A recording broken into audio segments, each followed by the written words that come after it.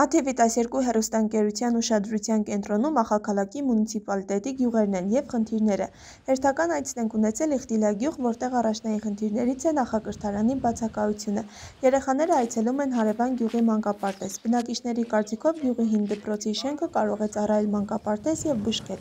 Այս ամենի մասին մանրամասնում է գյուղի բնակիչ Սլավիկ Մարաբյանը: «Այս շենքը մինչ օրս պահվել է, իմ նախաձեռնությամբ պահել եմ տարածքը, որպեսզի մանկապարտեզ պետք է սարքվեր: Հաշվարկված էր մանկապարտեզի համար 100 տեղանոց աշակերտների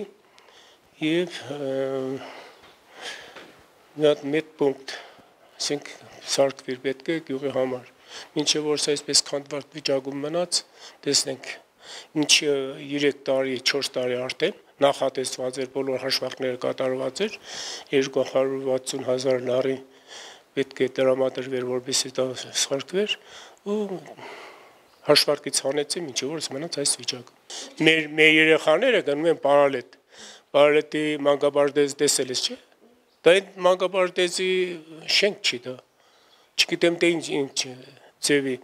նախ հրաբարակ չունի, հետո հանգստանալ հնարավորություն չունին, Մեր աշակերտներն են գնում, այստեղ մենք ունենք մոտավորապես 60-ից ավելի երեխաներ մանկապարտեզի հասակի, բայց մի մասը գնում են, 20 հոգի գնում են տղաներ: Մի 20 հոգի ավտոբուսը գալիս է տանում է Մերենիայից հավաքում են տանում են, բայց այս գյուղը ունի 60-ից ավել շատ: Մեր աշակերտների դպրոցի քանակը շատ-շատ է այստեղ, 170 աշակերտ ունենք: Ես ընդհանրապես հետաքրքրում եմ գյուղի հասարակական աշխատանքներով, ամեն բանին էլ հետաքրքրում եմ, բայց եթե ֆինանսապես չկա, ընդհանրապես շատ վատ վիճակում է»: